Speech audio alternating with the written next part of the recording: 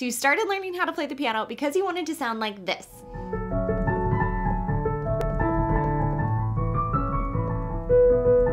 But unfortunately, right now, you kind of sound like this.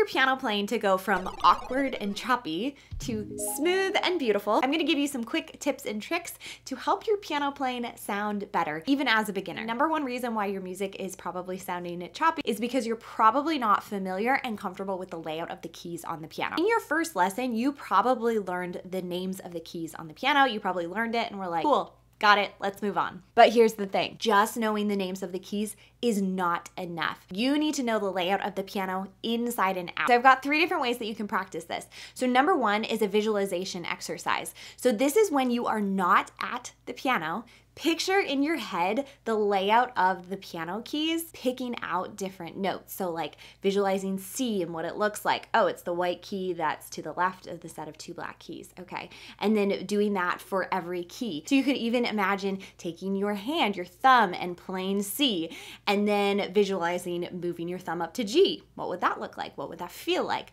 And then moving down to E. The more that you can visualize the keys of the piano away from the piano, the easier it's gonna be when you sit down at the piano. The second way that you can practice this is when you sit down at the piano, whether you're using sheet music or not, try to not look down at your hands when you're playing. So try to look straight ahead, or if you really need to discipline yourself, look up at the ceiling and try to move your hands and fingers to the correct keys without looking down. The third way that you can practice this is by learning scales, arpeggios, chords, mini songs that don't use sheet music anything like that that will help you get familiar with the keys and the layout before moving on to learning how to read sheet music and use rhythm, all the other things in piano. There's a lot to learn in the world of piano, and you want to make sure that you have a really solid foundation of knowing which keys are which and being able to move your hands to those keys. The number two reason why your music is sounding choppy or uncomfortable, probably because you're not yet comfortable reading music and playing at the same time time. Maybe you've learned how to read sheet music,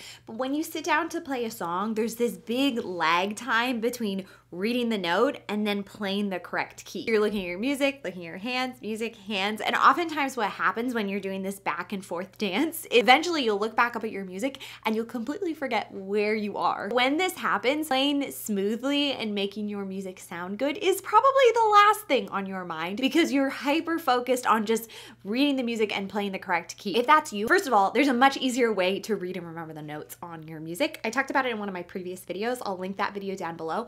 I also have a free guide where I dive into exactly what this method is and how to use it. That's really the first step. Then after you do that, you want to spend some time sight reading new music. This will really get your brain and your hands familiar with reading and playing the keys at the same time. A really good way to do this is to build sight reading into your practice routine. So every time you sit down, try to read and play something brand new. It doesn't have to be super long. It literally could be something like as long as one line of music. Even that is going to help you to be able to read and play faster. As you become more comfortable reading and playing at the same time, it really will affect how you feel when you play, first of all, also how your music sounds because you will sound more comfortable and confident as you play. The third reason why your piano playing might sound choppy and not smooth could be just because you're trying to learn songs that are above your current level. I'm all about challenging yourself to reach for the next level. But I just want to warn you that if you choose to learn pieces that are more difficult, you definitely can. It will just be a longer, possibly more frustrating process and it will take longer to get it to the point where it sounds smooth and comfortable. My tip here is to find an easier arrangement of the song. So you can still learn that same song, but learning it in an easier arrangement. For one, you'll be able to learn it faster. And number two, you will be able to really smooth it out and make it sound better in a shorter period of time. You can always learn the original and more advanced version later. But in the meantime, having something that's a little bit easier and shorter to learn oftentimes will motivate motivate you to play, and you'll be able to get your song sounding better in a shorter period of time. And the fourth reason why your piano playing might sound choppy and not really sound smooth is because you might still feel really awkward playing with both hands together. I'm not gonna lie to you, this is a tricky part about playing the piano. Playing hands together is no joke. But what I see a lot of beginners do is diving in headfirst into a song that has a lot of intricate things happening with both hands. Got a couple tips here to help you overcome this. Number one, you've probably heard it, but it's to practice hands separately. So practice just your right hand and then just your left hand and then put it together. And when you're doing this, you wanna make sure that you're being really intentional about remembering what it feels like as you're playing each hand.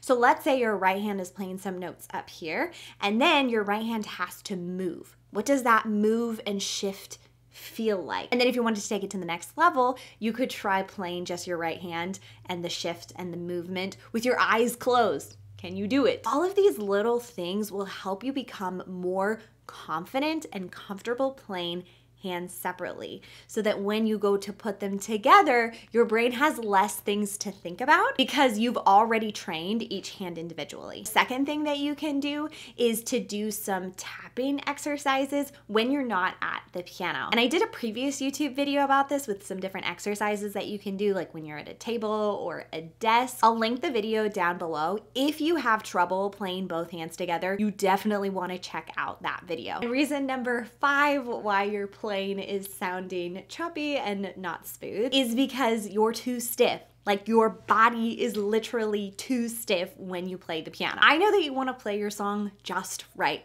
So it's taking a lot of energy to focus on, okay, what are my hands doing? What notes am I playing? What keys am I playing? When you do this, it translates into your playing. So even if you get all the right notes, all the right rhythm, it is still going to sound stiff because your body is stiff. So here are a couple quick tips to overcome this. Number one, don't take yourself so seriously. If you make a mistake, it's okay. That's part of the learning process. The second tip is to make sure that when you sit down at the piano, your body feels relaxed, okay? You give your arms the freedom to move. You give your wrists the freedom to move, okay? Instead of tensing everything up like this, relax everything. Relax your shoulders. The notes that you play are going to sound so much better when you relax your body.